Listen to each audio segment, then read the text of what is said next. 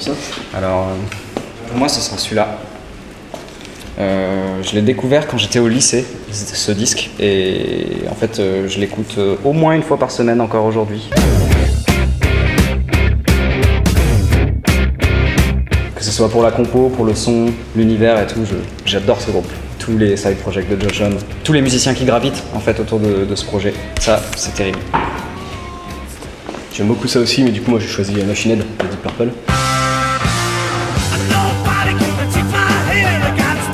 Quand j'ai commencé vraiment à jouer de la batterie, à m'y mettre à fond, j'ai passé aussi beaucoup de temps à décrypter le jeu de vieux batteurs comme Mitch Mitchell ou euh, John Bonham, mais aussi comme Ian Pace. J'avais un DVD euh, qui était bien kitsch, qui datait des années 90, et j'ai passé beaucoup de temps à décrypter le jeu d'Ian Pace, Pace à la batterie. Donc voilà, Machine Head pour moi. Toujours Des questions restrictives, tu sais, qui te font... Ce serait celui-là. Le Nick Cave, Push the Sky Away.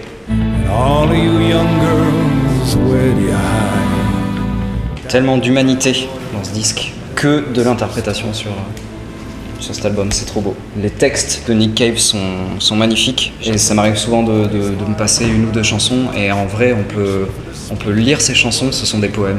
Il n'y a pas besoin de la musique, alors avec la musique en plus c'est incroyable. Voilà. J'ai décidé de tricher moi. J'ai choisi Sun Kill Moon. Et en fait j'ai choisi ça parce que c'est le seul truc de folk là que, j'ai trouvé dans les coins. Et euh, le disque que j'emmènerai partout en fait, euh, et que j'emmène quasiment toujours dans ma voiture, c'est un disque de folk celtique. The Buffy Band, c'est un truc qui date euh, du milieu des 70s. Coupable, mais pas si coupable que ça. Euh, voilà, ça. Ok Computer, Radiohead.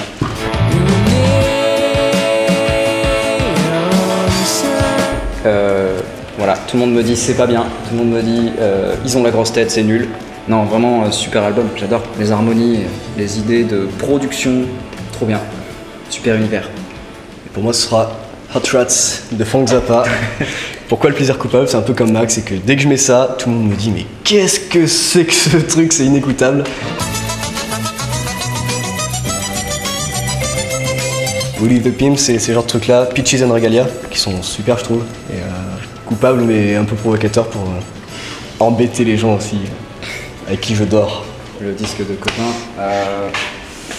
alors, celui-là, c'est leur premier et c'est équipe de foot, Chantal.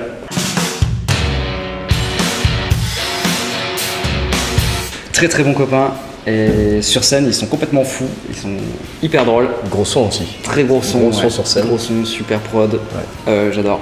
Voilà, ils aiment beaucoup euh, les Pixies et Elliott Smith et les Beatles et ça s'entend, hein, du coup c'est super bien, voilà. Donc euh, les gars, salut. Merci à vous.